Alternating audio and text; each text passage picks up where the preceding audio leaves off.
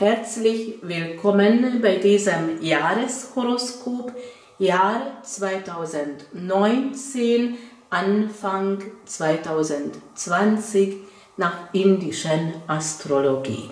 Die indischen Astrologen berechnen die Horoskopen anderes.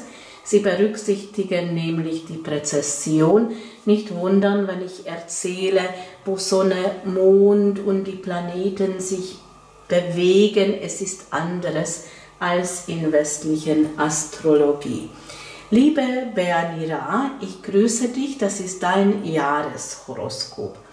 Das Bild, was du hier siehst, symbolisiert dein Geburtshoroskop bildhaft dargestellt. In diesem Bild, in ein Geburtshoroskop, ändert sich nichts.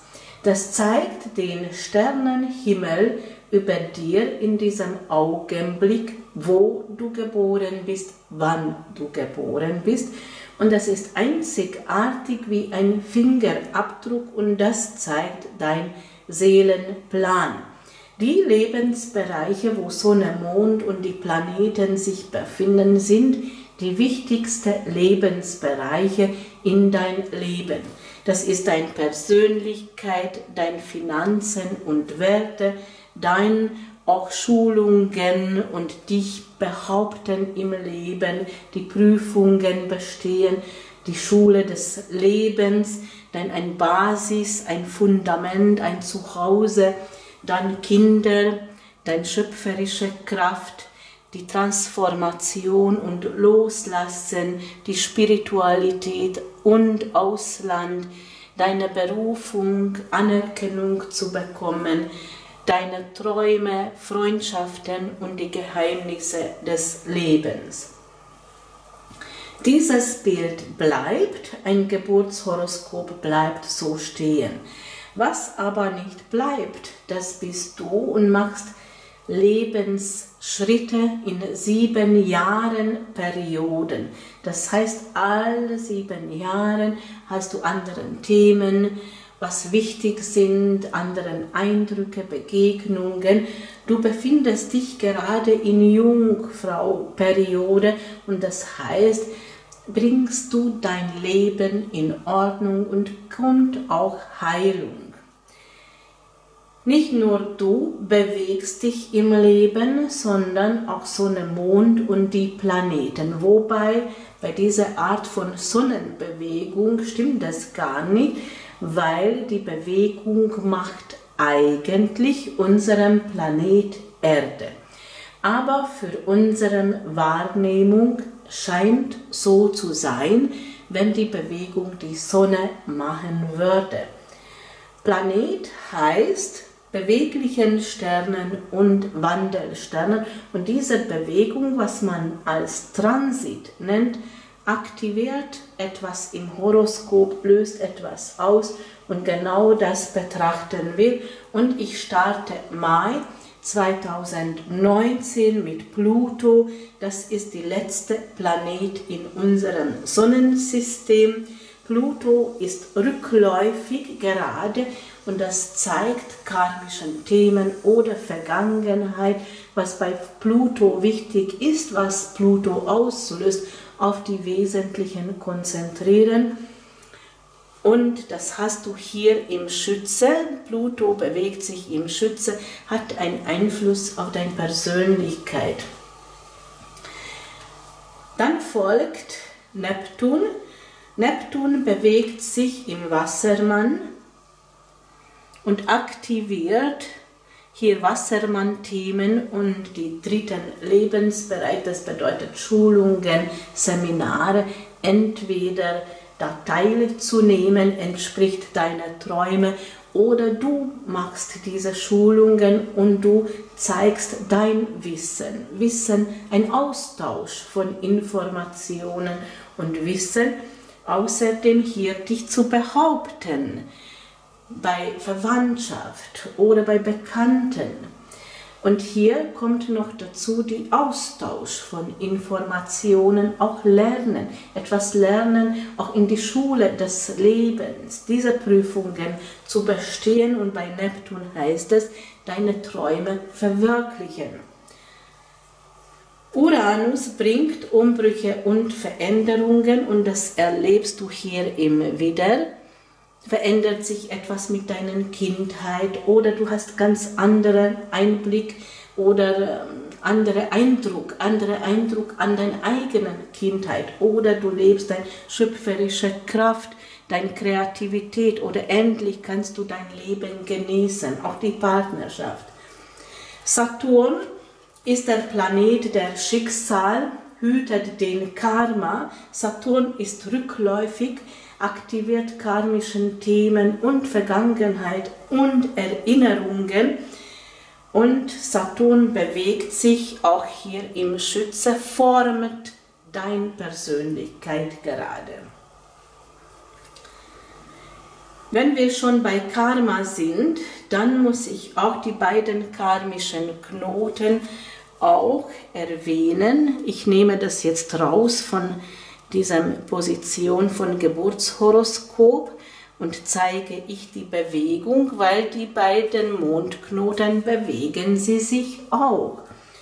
Und zurzeit bewegt sich Keto, dieser Drachenkörper, dieser absteigende Mondknoten, das was mit Vergangenheit was zu tun, bewegt sich dieses Jahr und Jahr 2020 im Schütze, also ziemlich lang, ziemlich lang befindet sich hier Ketu und hier diese Erinnerungen.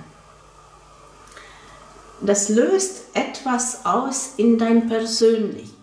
Du lernst auch deine Persönlichkeit zum Leben, das im Ausdruck zu bringen. Und wenn hier Erinnerungen kommen, wie deine Talente, Fähigkeiten, dann ist es für dich wichtig, da zu behaupten, das im Ausdruck zu bringen. Und der Drachenkopf, was die Seele gerade sucht, weil die Seele braucht, und das ist jetzt die Zeitqualität, dieser Drachenkopf oder Rahu oder aufsteigende Mondknoten bewegt sich dieses Jahr und nächstes Jahr auch noch in Zwillinge. Und hier aktiviert bei dir Partnerschaft.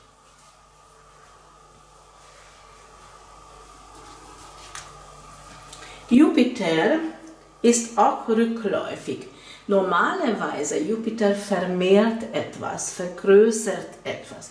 Aber diese Rückläufigkeit bremst es. Wenn du das vorhast, etwas vermehren, dann sagt Jupiter, oh, warte noch, das ist nicht der richtige Zeitpunkt. Vielleicht kommt noch was Besseres oder du sollst noch etwas überprüfen. Schau mal, was ist noch in Vergangenheit offen. Jupiter löst auch rechtliche Themen, immerhin vertritt die Gerechtigkeit und Gesetze.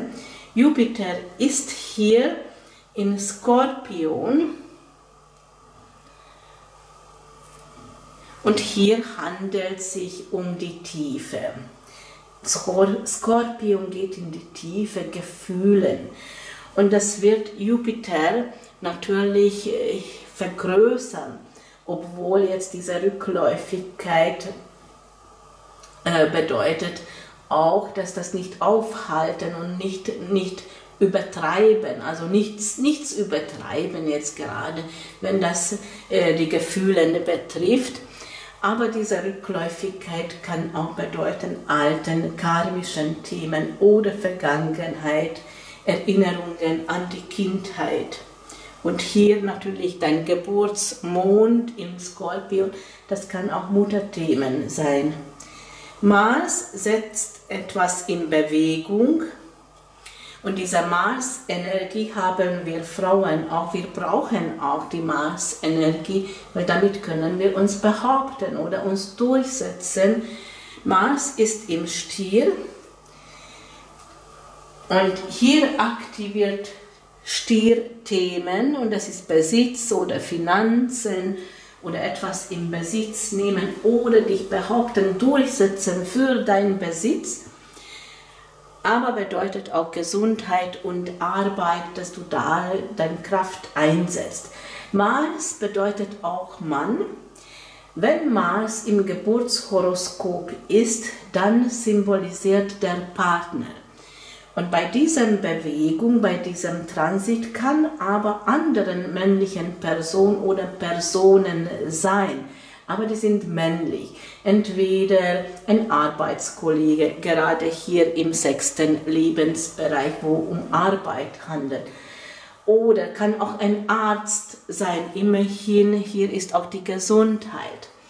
Oder Mars natürlich kann auch anderen männlichen Personen sein, wie ein netter Nachbar oder ein guter Freund. Also bei dieser Bewegung kann außer Partner auch anderen männlichen Personen auch bedeuten. Aber auch der Partner kann natürlich auch sein. Hier eine männliche Person kommt auf dich zu und es im beruflichen Umfeld. Venus ist eine weibliche Energie, zeigt natürlich unsere Weiblichkeit, auch unserem Aussehen, ähm, wie zum Beispiel neue Kleider, anderen Haarschnitt, Körperpflege. Das ist alles Venus-Energie. Venus hat einen Einfluss auf Kunst, Kreativität, Schönheit. Bei Venus Einfluss bringen wir etwas in Harmonie oder leben wir unsere Kreativität oder wir verschönern etwas und bedeutet auch anderen Frauen, gerade bei dieser Bewegung. Venus ist auch die Liebesplanet und das kann auch etwas auslösen im Horoskop, was mit Liebe, Partnerschaft was zu tun hat. Venus befindet sich in Fischen und hier ist wichtig, auf den Fischen Energie achten, im Vertrauen, das Fluss des Lebens. Oder hier im vierten Lebensbereich natürlich auch etwas verschönern zu Hause. Merkur ist auch hier in Fischen und das kann bedeuten Gesprächen über Gefühlen oder gefühlsvolle Gespräche oder Gespräche führen, was die Wohnsituation betrifft oder einen Vertrag unterschreiben. Sonne zeigt die Monatsthemen, ist im Widder, aber jetzt sind wir bei Mitte, Mitte Mai schon und äh, ab heute ist schon im Stier aber ich setze noch im Widder, weil Anfang Mai war noch im Widder, aber nur zum Hinweis, dass Mitte des Monats übergeht dann im Stier, wechselt die Monatsthema von Widder auf Stier. Bei Widderenergie bedeutet die Monatsthema Neuanfang hier in diesem Lebensbereich, wo um Kinder auch geht. Natürlich kann das auch ähm, die Thema sein bei Stierenergie. Das werde ich dann bei nächsten Monats, wie ich den Monat beschreibe, dann erklären. Dann die Mondbewegung. Ich betone jetzt Neumond, Vollmond und Halbmond. 18. Mai ist Vollmond im Waage. Vollmond bedeutet, da wird etwas beleuchtet. Und genau das sollen wir hinschauen. Es sind vage Themen wie Gerechtigkeit oder inneren Gleichgewicht oder Kreativität, Harmonie und Frieden, etwas in Harmonie bringen oder Liebe, Partnerschaft. Bei dir kommt noch dazu die elften Lebensbereich und das heißt äh, Freundschaften oder deine Wünsche, Vertrauen. Das sind die wichtige Thema und dieser Vollmond beleuchtet das. 26. Mai ist Halbmond im Steinbock. Halbmond bedeutet, dass Sonne und Mond steht in einer Spannung und das spüren wir auch. Und das für dich bedeutet hier den zweiten Lebensbereich. Entweder möchtest du, dass du Wertschätzung bekommst und es kommt nicht oder jemand versucht dich klein zu halten. Achte aber auch deine Finanzen, dass in diesem Tag überlegst, wo, wo gibst du Geld aus oder pass auch auf dein Geld, nicht dass verloren geht oder kommt ein Diebstahl zum Beispiel. Das bringt auch alles aus dem Gleichgewicht und führt dazu, dass das diese Unruhe kommt. Oder achte darauf, dass in diesem Tag nichts unterschreibst, was mit Finanzen was zu tun hat. Juni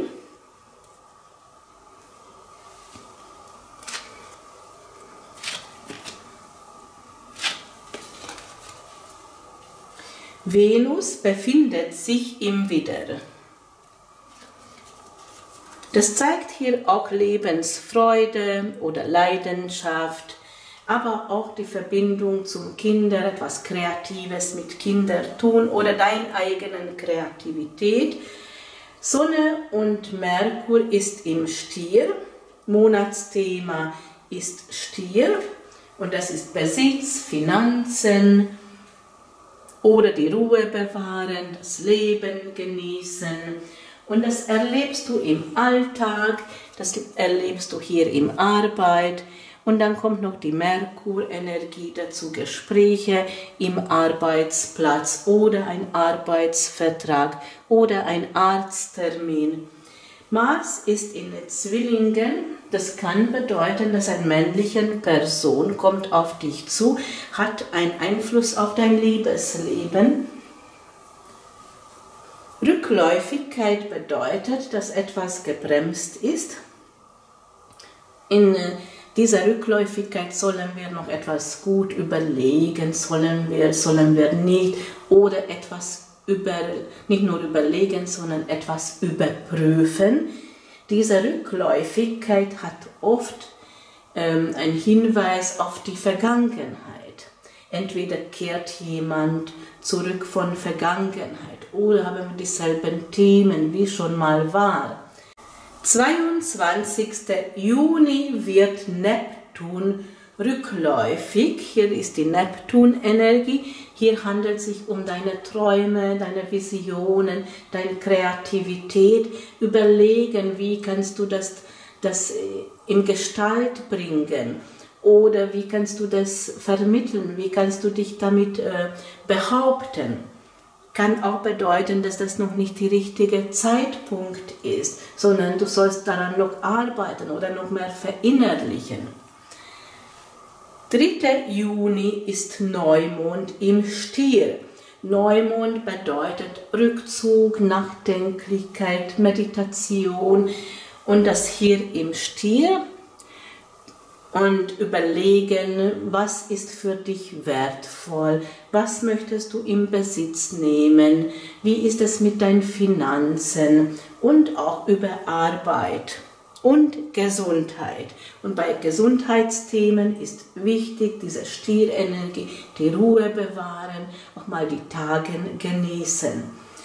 10. Juni ist Halbmond im Löwe, das ist Spannung und das erlebst du hier. Entweder kommen die Löwe-Themen in Vorschein, wo du dann anfängst an dir selbst zum Zweifeln und hast dieses Selbstbewusstsein nicht, nicht diese bewusst, selbstbewusste Auftreten oder Spannung im Reise oder in deinen Glaubenssätzen, dass du nicht mehr daran glaubst, äh, was du vorstellst, anfängst daran zum Zweifeln. 17. Juni ist Vollmond in Skorpion, beleuchtet diese Themen, alles was im Verborgenen ist, oder zeigt, wie wichtig das ist, dass du zurückziehst und bewahrst die Ruhe. 25. Juni ist Halbmond in Fischen, eine gewisse Spannung. Das kann bedeuten, dass alles so hektisch sind und das ist gut, wenn du zu Hause bleibst und dich ausruhst. Oder kommt etwas, was mit deiner Wohnsituation was zu tun hat und bringt das aus dem Gleichgewicht oder ein Reparatur im Haus. In diesem Monat, Juni, passiert was Wichtiges. Pluto und Saturn befinden sich auf diesem Knoten. Und das symbolisiert die Vergangenheit. alte Karma, all das, was wir schon in früheren Leben erlebt haben und all das, was in Kindheit wir erlebt haben. Dazu ist noch Pluto rückläufig und Saturn ist auch rückläufig, hat auch mit Vergangenheit was zu tun. Und sie bilden sich hier eine sogenannte Konjunktion und das bedeutet, sie treffen sich und sie wirken zusammen. Und das hat mit Vergangenheit was zu tun und das hat auch einen Einfluss auf äh, deine Persönlichkeit und spiegelt etwas, was die Partnerschaft betrifft. Das kommt auch noch dazu, weil das wird auch noch gespiegelt gleichzeitig. Juli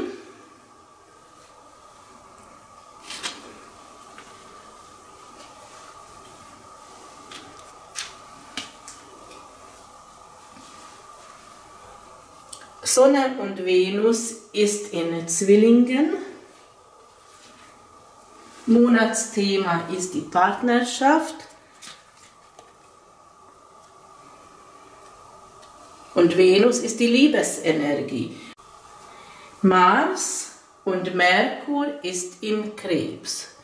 Und das kann bedeuten, dass du Kraft brauchst und zieh dich zurück im Ruhe liegt die Kraft und das, was du lernst, auch kann auch bedeuten, dass du Terminen hast, Verträgen und da musst du deine Kraft einsetzen oder hast du Gespräche mit einer männlichen Person und das hat mit Ämtern was zu tun. Aber hier im achten Lebensbereich handelt es sich auch um Themen wie Intimität und Mars hat auch ähm, natürlich einen Einfluss auf die Liebesleben. 8. Juli ist Merkur rückläufig und das kann bedeuten, dass du auf Terminen wartest und das verschiebt sich oder die Sache geht nichts voran im Ämten. Kann auch bedeuten, dass jemand meldet sich von Vergangenheit und bekommst eine Nachricht. 2. Juli ist Neumond in Zwillingen. Das hat einen Einfluss auf dein äh, Liebesleben, auf Partnerschaft und hier ist die Nachdenklichkeit, die Rückzug. Das kann auch dein Rückzug sein, auch sein Rückzug. Oder meditieren über die Liebe, Partnerschaft oder dass ihr beide zurückzieht. 9. Juli ist Halbmond im Jungfrau, das ist hier oben und das bedeutet, in diesem Tag hast du das Gefühl, Gefühl du bist übersehen oder zweifelst daran, deine Ziele zu erreichen oder bist unsicher, wo liegt überhaupt deine Berufung, wie kannst du das verwirklichen. 16. Juli ist Vollmond und gleichzeitig Mondfinsternis im Schütze. Und das hat einen Einfluss auf deine Persönlichkeit. Wieder kommt alles wieder hoch von Vergangenheit. 25. Juli ist Halbmond im Fischen.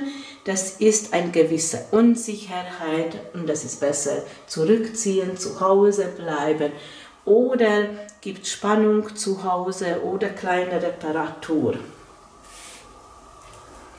August.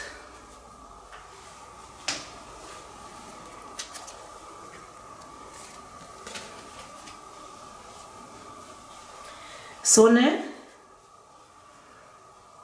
Mars, Venus ist im Krebs. Monatsthema ist Loslassen, Lernen, nicht alles festhalten zu wollen. Oder wenn Mars, Venus auch hier ist, das kann auch die Intimität bedeuten. Und Merkur ist in Zwillingen, das ist rückläufig, war Merkur kehrte wieder zurück. Und das kann bedeuten, dass jemand kehrt zurück in, von Vergangenheit und das hat einen Einfluss auf dein Liebesleben. 10. August wird Jupiter direktläufig und das ist hier alles, was im Verborgenen ist oder alles, was du verheimlichen wolltest oder was dich so bedrückt, weil hier sind auch geheime Feinde, dass das Endlich kommt Gerechtigkeit und geht alles voran. 12. August wird Uranus rückläufig hier und das heißt, wenn du etwas verändern möchtest, dann sollst du noch überprüfen. Oder wenn äh, unerwartete Ereignisse kommen und du bist nicht vorbereitet und kommen Veränderungen, das werft dich ein bisschen zurück, macht dich unsicher. 1. August ist Neumond im Krebs. Hier ist nachdenklich zu sein, was sollst du überhaupt loslassen, was sollst du befestigen oder nachdenklich sein über Finanzen. Wie bringst du das in Ordnung? Wie klärst du das im Finanzamt oder wie regelst die Bankangelegenheiten? 7. August ist Halbmond im Waage, das ist wieder Spannung, entweder mit Freunden oder in einem Verein oder du hast Wünsche und fangst an daran zum Zweifeln. 15. August ist Vollmond im Steinbock. Thema Werte und Finanzen wird beleuchtet, das sollst genau hinschauen. 23.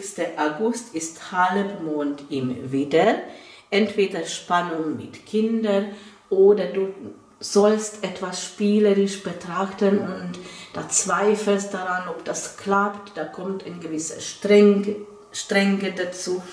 30. August ist Neumond im Löwe hier und wird von Regulus bestrahlt. Und das heißt, Regulus, dieser königlichen Stern, ist die Herz der Löwen. Und bei diesem Neumond, wo um Nachdenklichkeit geht und Meditation, sollst um dein Herzensangelegenheiten nachdenken. September Sonne, Mars, Venus und Merkur, alles ist im Löwe und aktiviert Themen, Reise oder innere Reise, Spiritualität oder religiösen Themen oder deine Glaubenssätze. 19. September wird Saturn direktläufig und das hat eine große Bedeutung, weil Saturn hat einen Einfluss auf unserem Schicksal. Und solange bis es noch rückläufig war, das war alles gebremst oder war noch Themen von Vergangenheit. Und hier ändert sich die Richtung und endlich geht alles voran. Und das hat einen Einfluss auf deine Persönlichkeit oder deine persönliche Umgebung. 6. September ist Halbmond in Skorpion und das bedeutet Unsicherheit, Spannung, dann sollst du zurückziehen, die Ruhe bewahren. 14. September ist Vollmond im Wassermann, das wird beleuchtet, Thema Schulungen, Bildung, Informationen, Nachrichten. 22. September ist Halbmond im Stier, Spannung im Alltag oder im Arbeit oder bei Gesundheit ist wichtig, die inneren Gleichgewicht, die innere Ruhe bewahren.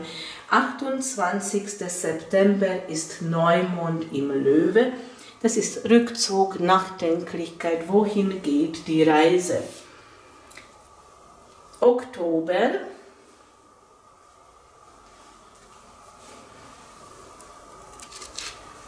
Sonne, Mars und Venus ist im Jungfrau und aktiviert Themen wie Heilung oder etwas in Ordnung zu bringen. Mars, Venus äh, ist die beiden Liebesplaneten und das kann natürlich auch bedeuten, dass hier die Liebe, Partnerschaft ist sehr wichtig, das steht im Mittelpunkt, da sind deine Wünsche, deine Ziele auch oder dass das wahrgenommen wird.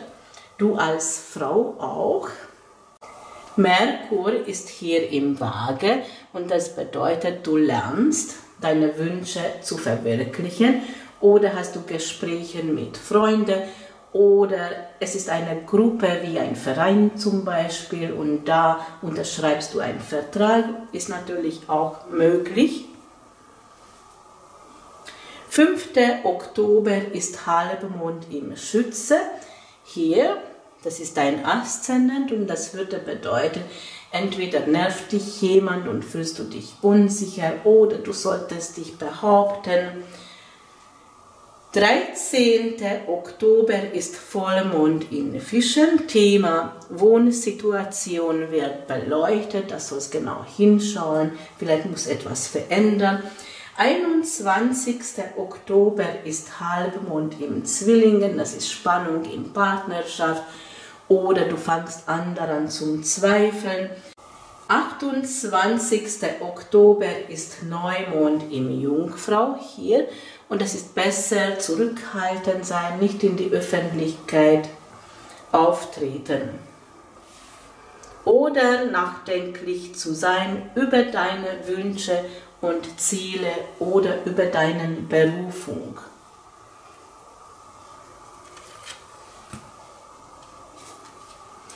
November, Sonne ist im Waage, Monatsthema ist Gerechtigkeit, Liebe, Partnerschaft, Kunst, Kreativität, Wünsche, Sehnsüchte, Freundschaften. Mars ist im Jungfrau, also bleibt hier im Jungfrau. Das kann bedeuten, dass ein männlichen Person begegnest du im beruflichen Umfeld oder du musst dich behaupten, dass du Respekt bekommst, Anerkennung, Ansehen. Merkur und Venus ist im Skorpion. Das ist hier mehr die Rückzug, aber in diesem Lebensbereich sind auch die Geheimnisse. Entweder eine Frau erzählt ihre Geheimnisse oder du hast dein Liebesgeheimnis, sollst du aber schweigen. Kann auch bedeuten, dass hier geheime Feinde hast und das ist eine weibliche Person und sie redet hinter deinem Rücken. Zwischen 1. und 20. November wird Merkur rückläufig. Ab 21. November ist wieder direktläufig, ändert sich die Richtung. 28. November wird Neptun direktläufig und das bedeutet, all das, was du vorhast, endlich kommt in Bewegung, kannst du das Verwirklichen deiner Träume leben, vorausgesetzt ist, du glaubst daran. 4. November ist Halbmond im Steinbock. Achte auf die Werte, Finanzen und sei vorsichtig bei diesem Halbmond. 12. November ist Vollmond im Widder. Thema Kinder, Lebensfreude, Kreativität wird beleuchten, also genau hinschauen. 19. November ist Halbmond im Krebs und das kann bedeuten, du solltest was loslassen, du neigst aber dazu festzuhalten oder hast du Themen mit Ämtern und da sind Spannung. 26. November ist Neumond im Waage. Halte dich zurück von Freundeskreis, Bekanntenkreis oder von Gruppe von gleichgesinnten Menschen oder sei nachdenklich. Woran liegen deine Wünsche? Was sind überhaupt deine Wünsche? Oder in Freundeskreis, wen kannst du vertrauen? Wen kannst du nicht vertrauen? Dezember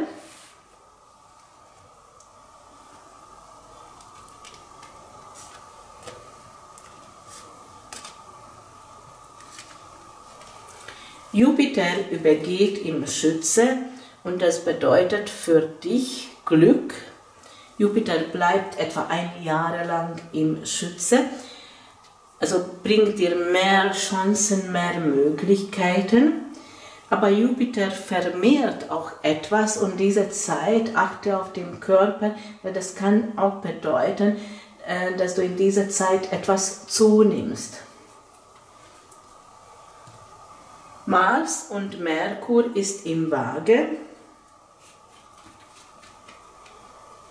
Und das kann dein Wunsch sein, die Liebe, Partnerschaft, und das hat mit diesem Mann was zu tun. Kann auch bedeuten, dass du hier Gespräche hast mit einer männlichen Person. Sonne ist in Skorpion. Das sind Themen, was mit deiner Mutter was zu tun hat. Immerhin dein Geburtsmond ist hier im Skorpion und diese Sonne aktiviert das auch. Und ähm, es handelt sich hier in diesem Bereich um die Geheimnisse, die tiefe Geheimnisse erkennen und da die Augen öffnen. Sonne lässt die Augen öffnen, macht etwas sichtbar. Und Venus befindet sich im Schütze. Und das heißt, du bist als Frau wahrgenommen oder ändert sich etwas in dein Aussehen. 4. Dezember ist Halbmond im Wassermann. Es ist schwierig, dich zu behaupten. Das Leben stellt dich in Prüfung. Oder hast du Spannung in Verwandtschaft? 12. Dezember ist Vollmond im Stier, beleuchtet Themen wie Werte, Wertschätzung, Finanzen, Arbeit und Gesundheit. 19. Dezember ist Halbmond im Löwe und das bedeutet, dass du unsicher bist, wohin geht die Reise überhaupt oder du hast Glaubenssätze und fangst an daran zum Zweifeln und neigst dazu, das zum Aufgeben. 26. Dezember ist Neumond im Schütze und das bedeutet für dich nachdenklich zu sein über dein Auftreten, über deine Persönlichkeit und auch deine Lebenserwartungen. Januar 2020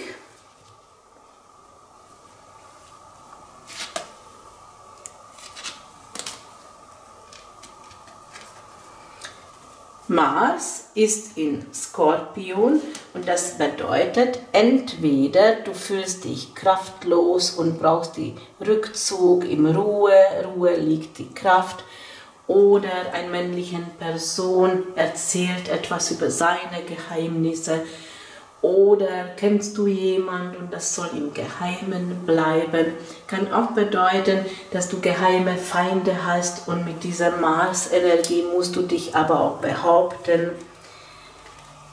Sonne, Merkur ist im Schütze. Monatsthema ist deine Persönlichkeit mit Merkur-Energie. Entweder, dass du andere davon überzeugen sollst, oder Erwartungen hast, dass die anderen auf dich zuhören, bedeutet auch, dass du mehreren Gesprächen hast, Kontakte, Kommunikation ist wichtig. Und Venus ist im Steinbock. Das kann bedeuten, dass du durch Kreativität Geld bekommst, aber kann auch bedeuten, dass du Geld ausgibst für schöne Dinge. Februar 2020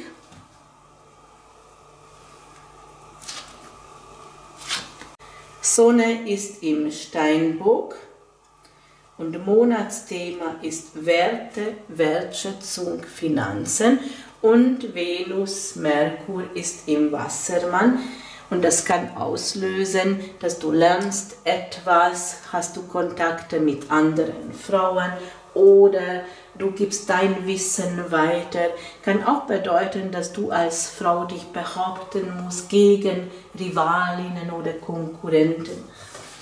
März 2020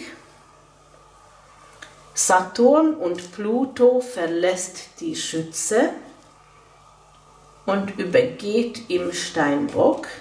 Sie bleiben ziemlich lang hier und aktivieren Themen deine Werte, Besitz und Finanzen. Sonne, Merkur ist im Wassermann. Monatsthema ist Bildung, Informationen, Austausch von Informationen oder Medien, und Venus ist im Widder. Und das heißt hier Lebensfreude oder die Liebe genießen. April 2020 Venus übergeht im Stier. Und das zeigt deine Kreativität im Alltag oder in Arbeit oder hast du Kontakt mit einer weiblichen Person, Wenn das um Gesundheit geht, kann bedeuten, dass du Termin hast bei Frauenarzt.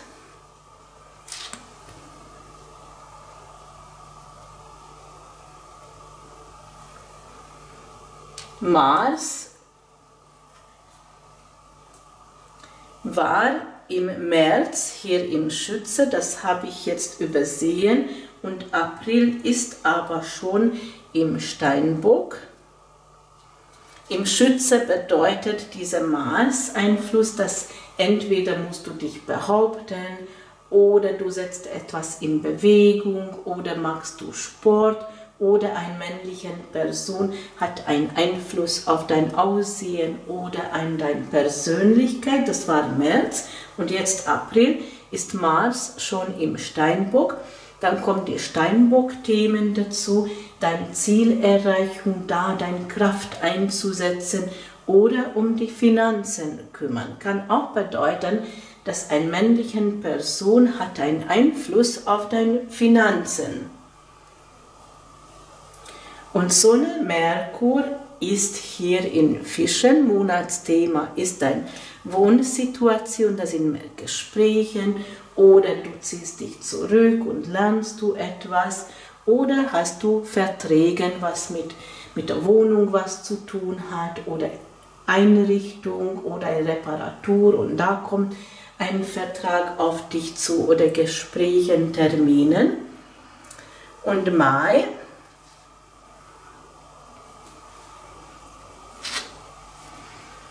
Sonne und Merkur ist im Widder. Monatsthema ist die Kindheit, die Erinnerungen oder die Verbindung zum Kinder. Und Venus übergeht in Zwillinge und aktiviert Thema Liebe, Partnerschaft. Liebe Beanira, so könnte ich deine Jahreshoroskop beschreiben.